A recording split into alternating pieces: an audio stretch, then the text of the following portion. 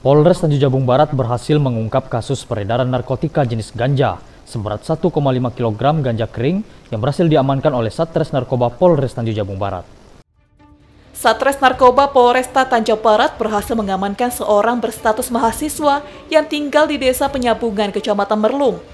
Dalam konferensi persnya, Kapolres Tanjung Barat AKBP Agung Basuki mengatakan, pihaknya mendapatkan informasi dari Bea Cukai Provinsi Jambi bahwa akan ada sebuah pengiriman paket yang berisi diduga narkotika jenis ganja melalui pengiriman JNT di Kecamatan Merlung.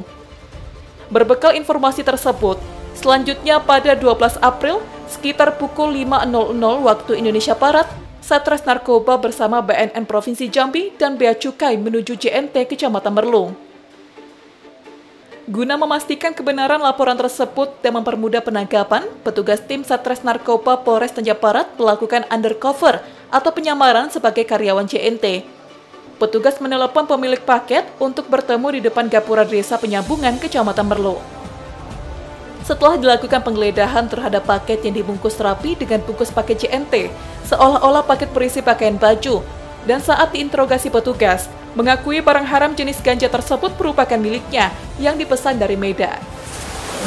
Kejadian tersebut sudah kita ungkap kemarin pada hari Jumat tanggal 12 April sekitar pukul 9 yaitu di Gapura Selamat Datang Desa Penyambungan Kecamatan Merlong Tanjung Jabung Barat. Ya, kita berhasil mengamankan satu orang tersangka yang sekarang berada di depan kita atas nama Nandu alias Nandu bin almarhum Tamsul atau misalnya MD umurnya 28 tahun. Dan statusnya yaitu mahasiswa. Mahasiswa.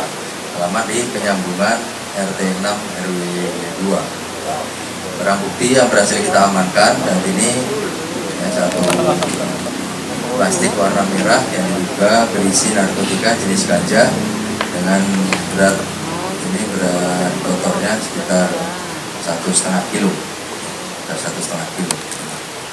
Lalu kemudian kita juga amankan satu buah jaket yang itu digunakan. Warna hijau kemudian satu buah kertas pipa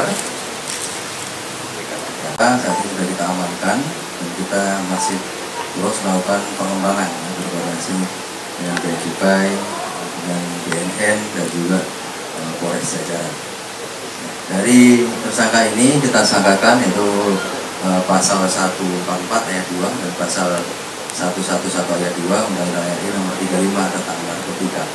Itu dengan ancaman penjara paling singkat 5 tahun dan paling lama 20 tahun dan pidana denda minimum 1 miliar dan maksimum 10 miliar rupiah.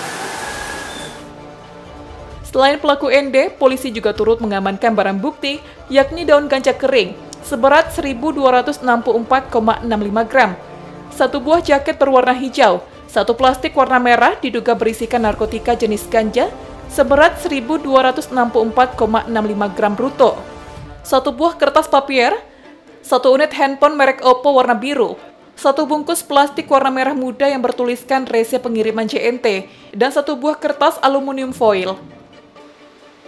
Jika dikalkulasikan, 1 gram daun ganja bisa menyelamatkan 4 jiwa, maka daun ganja seberat 1.264,65 gram bisa menyelamatkan 5.058 jiwa. Berdasarkan pasal 114 ayat 2 dan atau pasal 111 ayat 2 Undang-Undang Nomor 35 Tahun 2009, pelaku diancam penjara paling singkat 5 tahun dan paling lama 20 tahun dan pidana denda minimum 1 miliar rupiah dan maksimum 10 miliar rupiah. Surya Kurniawan, JEK TV, melaporkan.